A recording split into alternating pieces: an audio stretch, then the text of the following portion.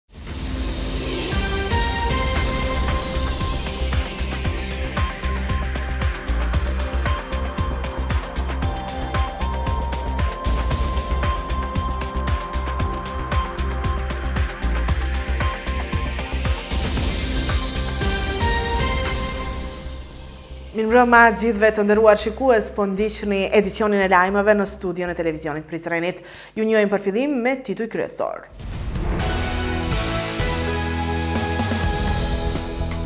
Komuna e Prizrenit shpërndan edhe 40 motokultivatorë për fermerë.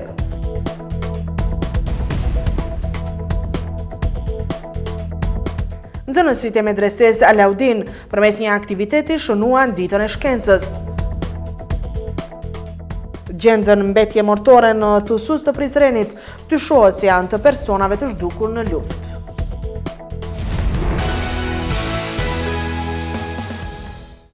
Kur mund të udhtoj pa vizë? Nga 1 janari 2024, udhëtimi pa viza u mundëson mbajtësve të pasaportës së Kosovës që të udhëtojnë pa vizë për qëndrime të shkurtra si turist për vizita familjare, Udhëtimi pa vizë ju mundëson qëndrime afatshkurtra deri në 90 ditë brenda periudhës 180 ditëshe. Udhëtimi në shtetet e zonës Schengen kërkon posedimin e dokumenteve të më poshtme. Pasaportë biometrike e vlefshme për të paktën 3 muaj pas datës së largimit nga zona Schengen, dëshmi mbi qëllimin e udhëtimit në zonën Schengen, dëshmi mbi qëndrimin si rezervimi i hotelit apo detajet e vendit ku do të qëndroni, detajet e udhëtimit duke përfshirë rezervimin e biletës Kthyese, nëse udhëtohet me veturë, dokumentet e nevojshme të veturës, dëshmi se keni mjete të mjaftueshme financiare. Liberalizimi i vizave në asnjë rast nuk nënkupton mundësi punësimi apo studimi në shtetet e zonës Schengen. Për më shumë informata vizitoni integrimievropian.rks vizë gov.net.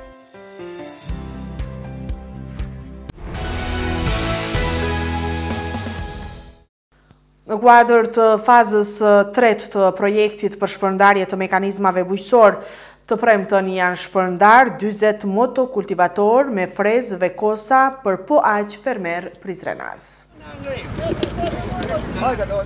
Fermerët Arsim Azeri dhe Isak Thaçi, për herë të parë janë në mesin e përfituesve të subvencioneve me mekanizma bujqësorë nga Drejtoria e Bujqësisë në Prizren. Ata thonë se kanë shumë nevojë për mbështetje të këtilla, sikurse janë edhe motokultivatorët që sot ata i morën në kuadër të këtij projekti. Unë nevojë për këtë kam pas shumë, edhe disa herë kam aplikue por tash erdh rasti edhe mu dhap rasti për me marrë një. E për çka do të thotë ato?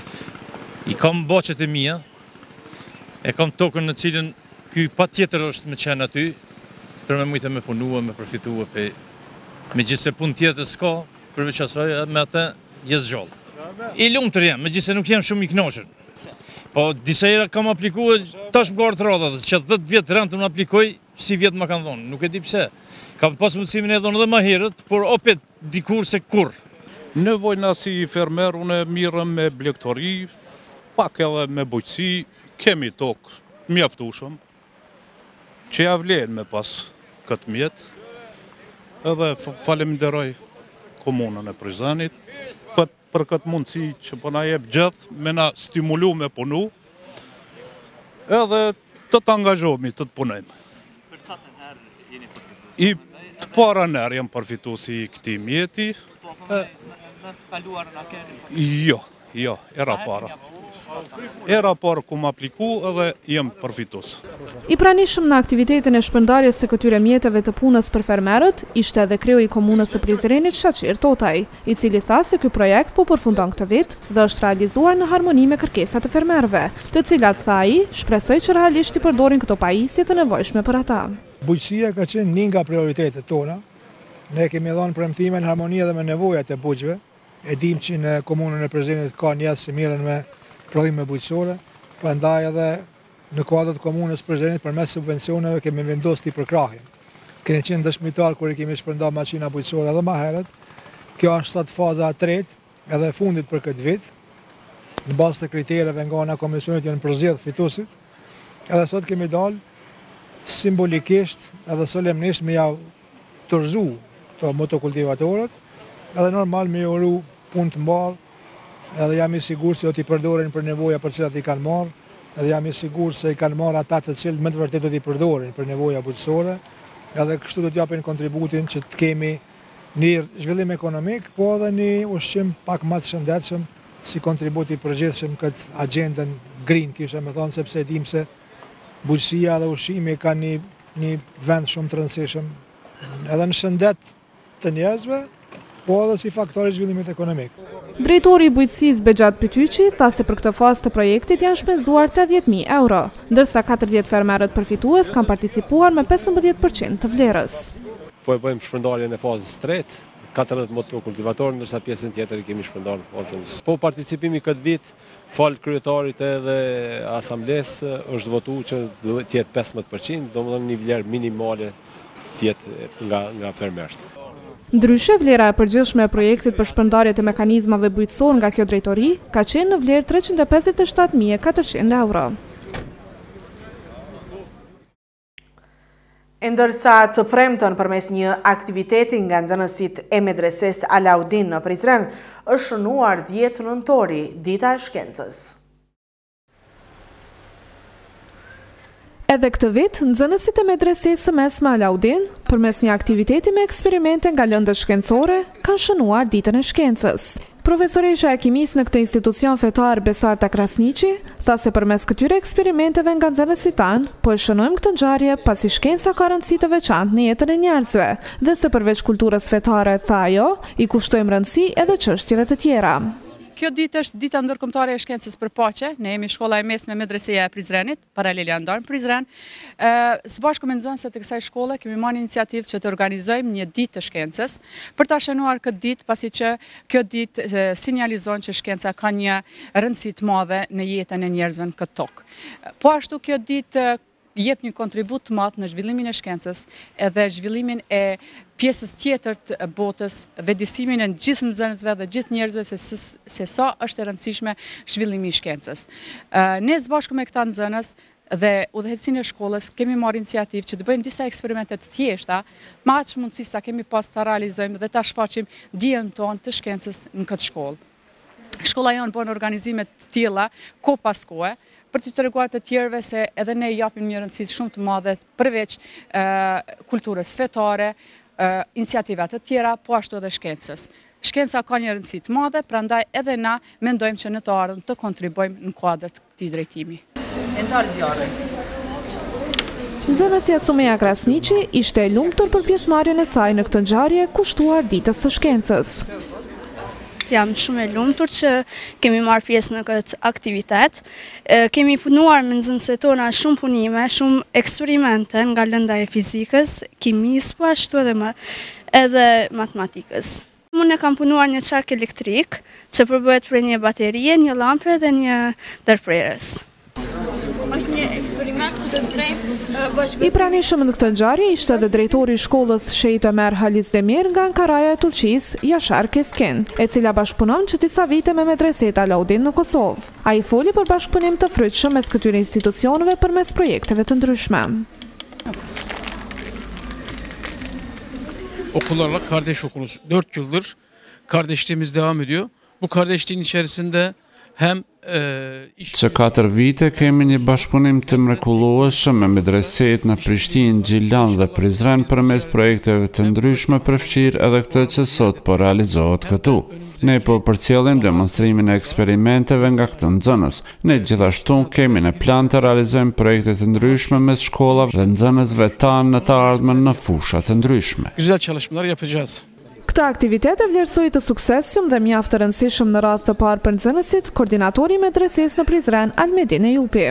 Si çdo dhjetë nëntor, ndërkombëtarisht njihet si Dita e Shkencës, prandaj edhe sot në shkollën tonë, në bashkë me mësimdhënësen Besarta Krasniqi dhe nxënëset tona, kanë përgatitur disa projekte e tani përveç mësimet, teorike që i bëjnë në shkollë tani po i demonstrojnë edhe në formën praktike.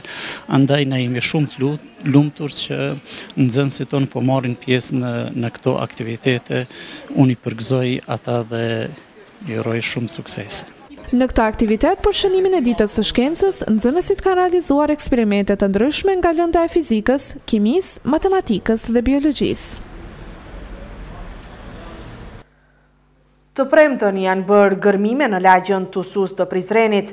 Janë gjetur disa mbetje mortore që dyshohet se i përkasin luftës së fundit në Kosovë, ka bërë të ditur kryetari i Komisionit Qeveritar për Personat e Zhdukur, Andin Hoti.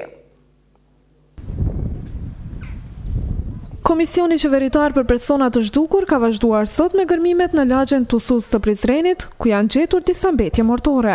Kryetari i Komisionit, Andin Hoti ka bërë të ditur përmes një postimi në rrjetin social Facebook se mbetjet mortore potencialisht i përkasin viktimave të listës së personave të zhdukur. Sipas tij, ky është lokacioni i trembëdhjetë brenda këtij viti, ku në shtatë prej tyre janë hasur eshtra.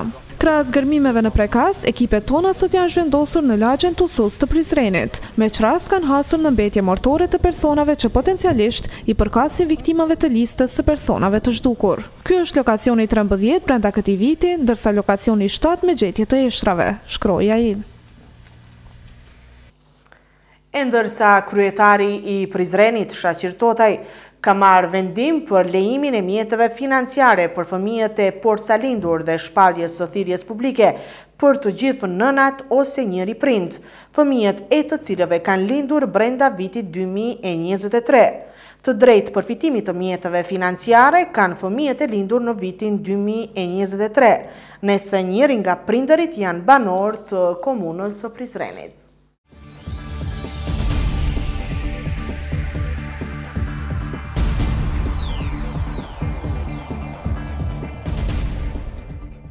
Është radha tani të nderuar shikues, t'ju sjellim të tjera informacione të ditës së sotme. Kryeministri i Republikës së Kosovës Albin Kurti në prag të Forumit të Paqes që organizohet në kryeqytetin francez Paris, është pritur nga presidenti francez Emmanuel Macron. Në Pallatin Elize, bashkë me Ritën, mysafir të presidentit francez Macron dhe zonjës së parë të Francës Brigitte Macron, në prag të edicionit të gjashtë të Forumit të Paqes në Paris, ka shkruar ai në Facebook. Kurti mbrëmë ka qenë pjesë e darkës me krerët e shteteve dhe qeverive pjesëmarrëse në këtë forum.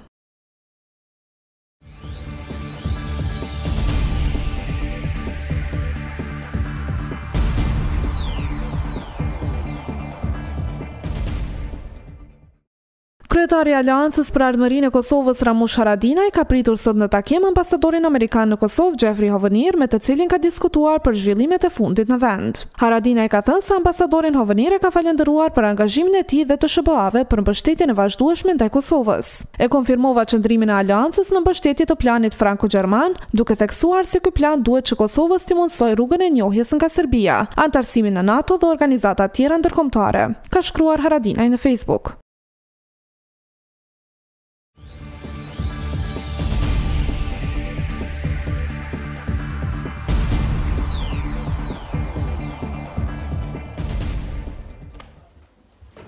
Ish-kryetarja e Komisionit Qendror të Zgjedhjeve Valdete Daka deklaron se zgjedhjet në veri të vendit mund të mbahen vetëm pas dorëheqjeve të kryetarëve aktualë. Kjo çështje sipas saj mund të zgjidhet vetëm me një marrëveshje politike, por jo edhe me udhëzimin administrativ për largimin e kryetarëve nga funksioni i tyre.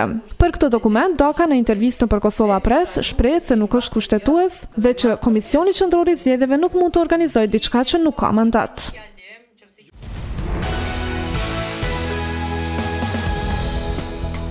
Komuna e Prizrenit shpërndan edhe 20 motokultivatorë për fermerë.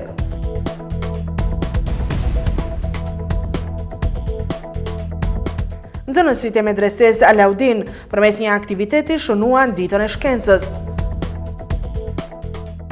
Gjenden mbetje mortore në Tusus të Prizrenit, Dyshohet se janë të personave të zhdukur në luftë.